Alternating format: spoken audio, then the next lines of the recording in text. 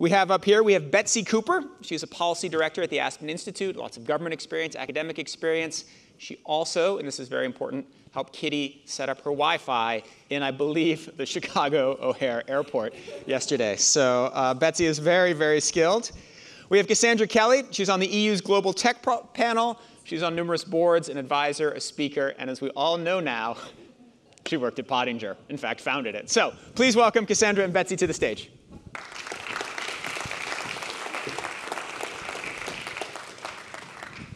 So I think we should begin maybe with a little survey of the audience after watching that. Yeah, let's I see. agree. Let's, let's turn right. it back on them. How many people here use two-factor authentication? Show of hands.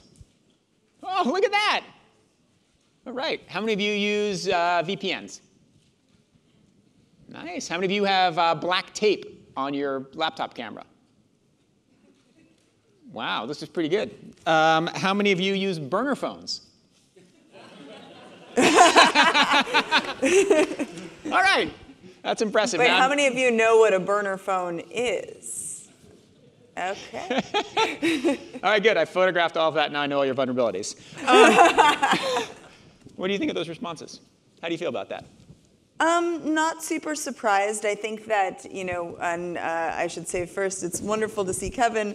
Uh, we use your security training at the Aspen Institute, so you were literally the first person that I met on my screen uh, when I started.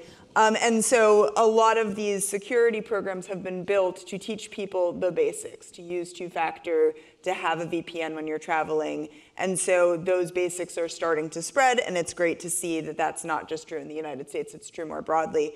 Um, I think when you start getting outside those two or three things that the average person has been told a million times to do, yep. uh, you start to see more problems. And then I'd also say uh, some people will sometimes say, yes, I know what those things are, but don't always turn it on. So I suppose the follow-up would be, how many of you actually turn on your VPN every single day working at your laptop? yeah, exactly. So, so there's a difference between having access to the technology and always using it appropriately. I'm not entirely sure this room is, is representative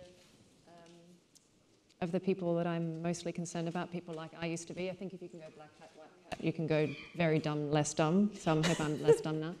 Um, but uh, you know, I just feel the people that have, they self-select to come here, they're interested, um, they're spending hours listening to it. Um, so there's an awareness that uh, is not present uh, among you know the everyday consumer and people that I really worry about. All right. Well, let's talk about companies then. Let's talk about what are the things that you think companies if you were to give a checklist that you think most companies should follow, you both, both work as advisors to lots of executives, lots of boards. What is on your checklist for corporate leaders here? Checklist for corporate leaders. Uh, look, I mean, I really want to start, first of all, understand that it wasn't very long ago with, when I advised boards and senior management that the very people governing, sitting on the boards actually couldn't really uh, operate a computer. And I'm, I'm actually not joking. Um, and then iPads, fortunately, are intuitive for three-year-olds, but they're also intuitive for aging board directors. Um, and so they were given these iPads, you know, they're handed over, and then apps like Diligent and other things have come along to create electronic effective distribution of board papers. Um, and all of that's been, you know, quite uncomfortable. So that's sort of the, the, what you're really dealing with. And these people govern some of the largest organisations in the world. And yet the level of sophistication on those boards is incredibly low.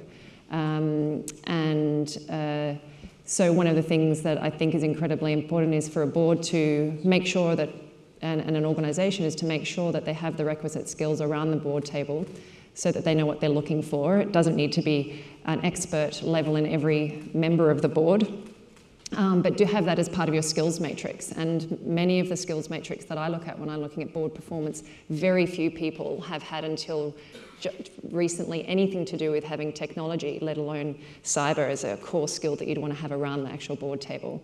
Um, I think it's great, and um, I uh, chair a central financing authority um, in Australia, and uh, we do bring in outside people to test. Um, that is actually a core thing of what we do, so it's really important to get external people in, I believe, to attempt to hack your systems.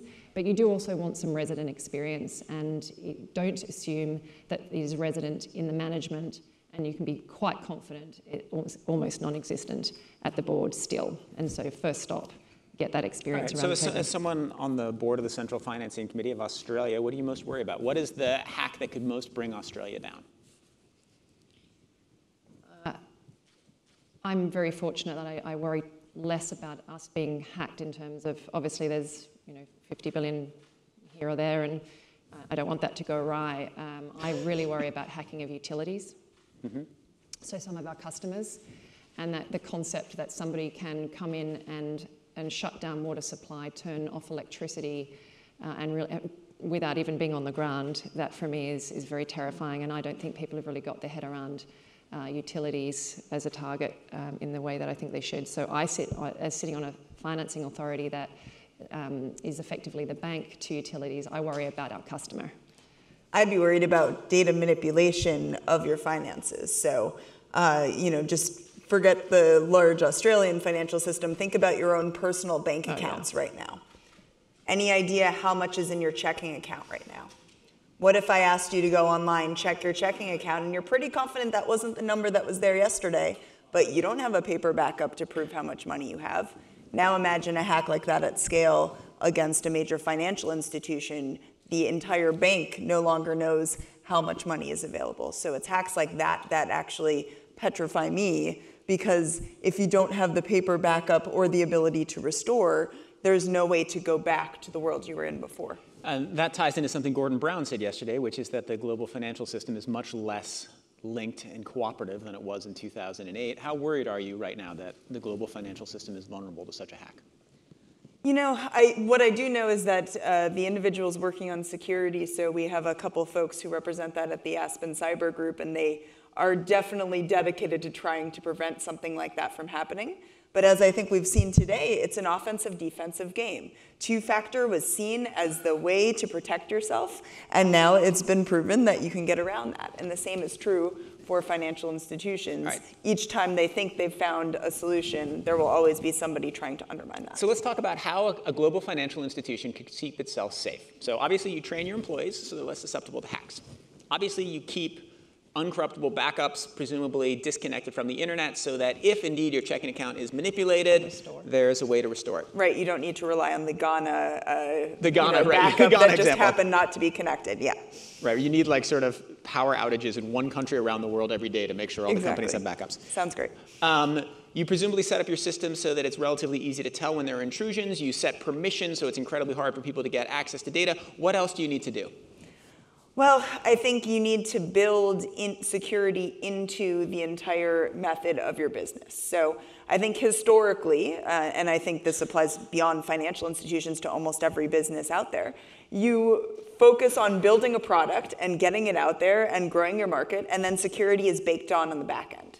And so I think now security needs to be baked in on the front end so that people are having those conversations. So when you are developing your business, when you're having your go to market strategy, when you're thinking about what your next steps will be, you need to have people with security expertise in those conversations to identify the vulnerabilities up front. It's much easier to prepare in advance than to try to stick a band aid on afterwards. Cassandra, you agree? Very more, yeah. It's not an afterthought. I mean, there are so many technologists at the CTO side of it, let alone security and data, who sit there and say, we're, you know, that we're invited into the conversation after the product's been imagined. Um, nobody thought to ask us. So every product team should have a security expert who works on it so that it's not just something you attach at the back end. Or at least a cross functional team that collaborates on a regular basis. that can't be socially engineered. All right, let's talk about like fun, crazy stuff because otherwise, if we talk too much about hacking the banking system, I'm gonna get depressed. Um, Agreed. Betsy, you recently wrote a piece saying that we give up on 2FA. It's time for 3FA, 4FA, 5FA, and you suggested brainwaves. So let's go into this. What, what are you talking about? Uh, sure. So uh, in my former life, I worked at UC Berkeley, and we had, uh, you know, I'm sure not as good as at NYU, but we had tremendous faculty uh, there, and we had a team that was working on three-factor authentication using brainwaves. So this ties back to our wonderful conversation about the brain uh, yesterday. So you take a little device. It looks like an earbud, like you would use for your iPhone. You stick it in your ear. Uh, you create a passphrase, so a sentence, like we were thinking about earlier. And then they've discovered, and this is still in testing phases, but they're getting further along, that if you think the same phrase, you will see a repeatable set of brain waves that you can use. So there's three factors there. The first is the physical device you put in your ear. The second is the sentence that you have to think. And the third is the repeatable pattern of brainwaves. So if I have Mary had a little lamb as my passphrase, I can think that, and it'll only allow me to log in if the actual waves. There's no way that works. Why, why do you say that? We just don't understand enough about brain waves to there to be a repeatable pattern. Is, do we? So, uh, according to the researchers, I'm not the brain expert. We can find our uh, panelists from listen- yesterday to And yesterday, verify. my but- understanding is that we were a decade away from telepathy.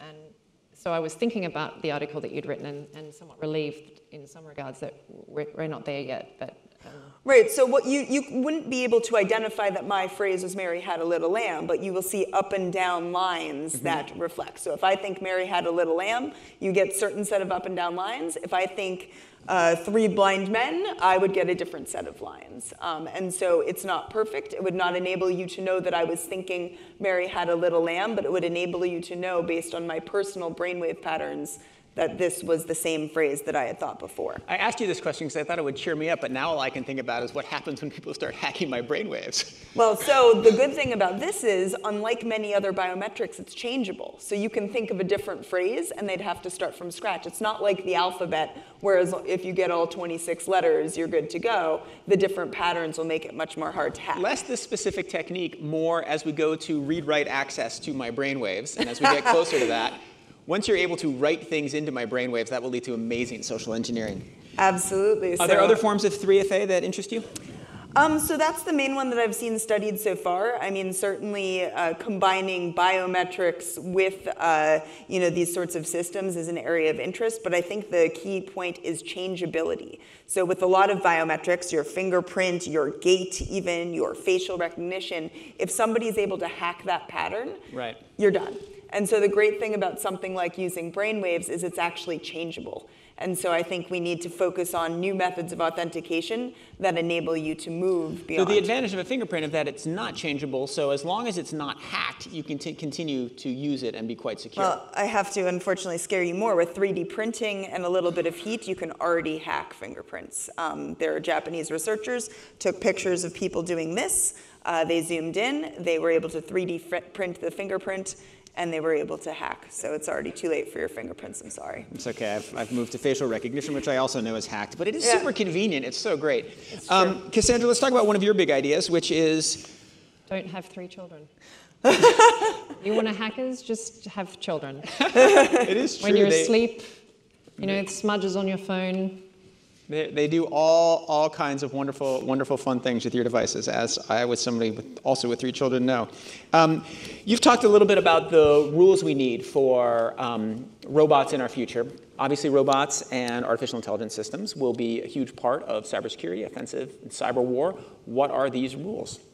Yeah, I mean, I don't know how many of you read um, a fairly seminal piece, um, Isaac Asimov, um, I, Robot, a very old um, book that talks about, you know, ro- robots. And at the end of the day, robots should create, thank you, um, robots should create um, no harm, they should obey the person who's controlling them, and they shouldn't allow themselves to be harmed. And obviously, we've already got um, drones that break these rules. We've got cars that we're programming to choose who to kill, so we're already programming robots to kill.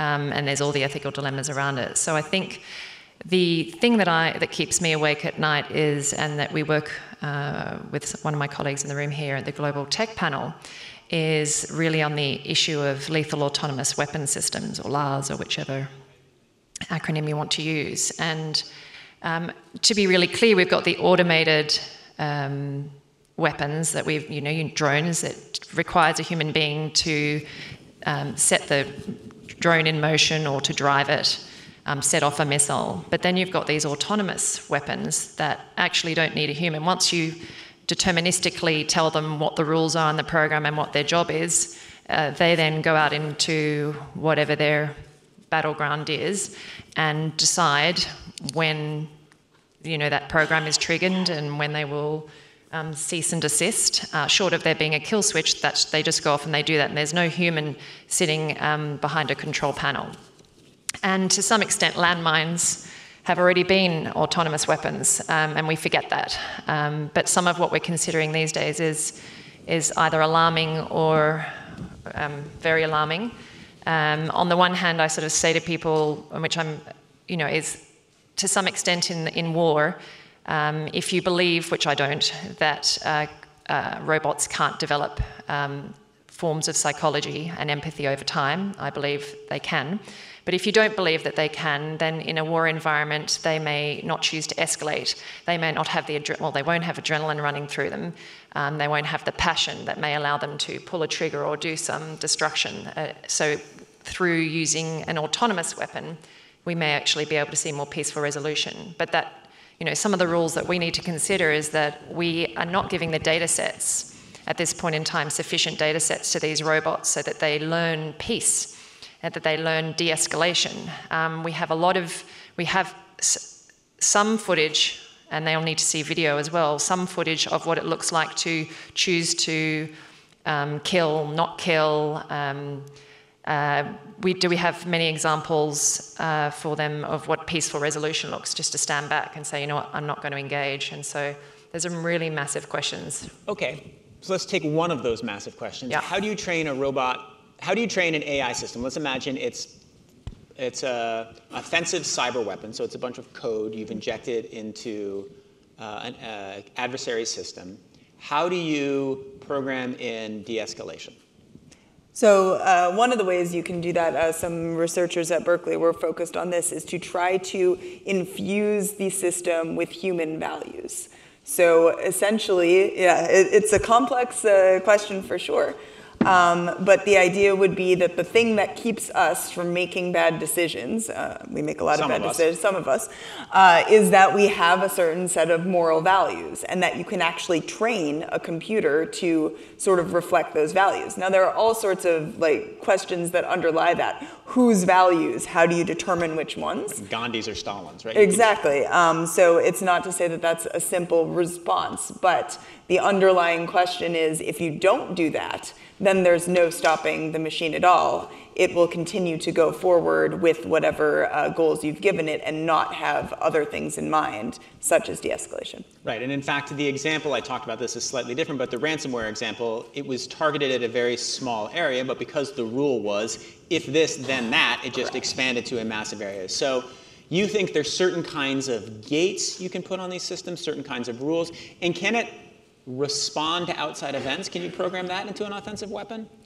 I mean, I think you, you have to. I, I mean, certainly it's not a system where it's always just yes or no. There's a, you know, yes, there's a basically a, a list of questions that it follows throughout. And so if it hits a no answer, then it should disable itself. Stop And punching once they've surrendered, right? Right, exactly. And, and to some extent, when you're thinking about deterministic AI versus general, I mean, this is some of the other questions we need to grapple with. Are we going to allow, you know, the machine learning? So if you take two robots, you teach them the same thing, um, you know, they, they're programmed the same way from the beginning, but you send them out into the world and they have different experiences. Technically, through the experience of machine learning, they can, then, because they've been subject now to new, inf- different information in different environments, they may learn to respond differently um, and have and, and so, to what extent, when we're talking about lethal autonomous weapons, do we actually want to have the code such that if this, then that?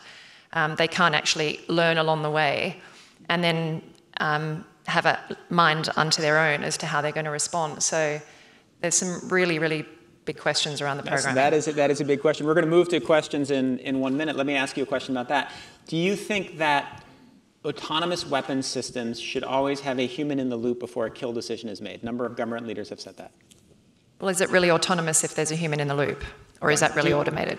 So do you think that autonomous systems should be able to make kill decisions, or do you think that that should stop because you shouldn't have an autonomous? You shouldn't have a computer system that can make a kill decision, right? So with the I, United I, I think that's correct. I do not think that you should have a computer system that can make a kill decision. which is the way like the U.S. military is set up, right? You can use predator drones, you can use Right. AI system to identify targets, but a human has to press the button.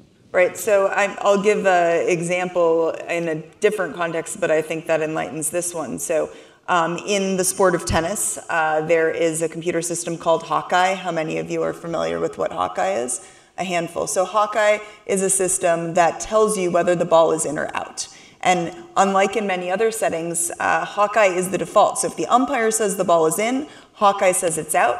Hawkeye wins every time the human is overruled. I don't think we want a system in which the human is overruled when it comes to killing people. Except, here's the thing about Hawkeye it's better than the ump.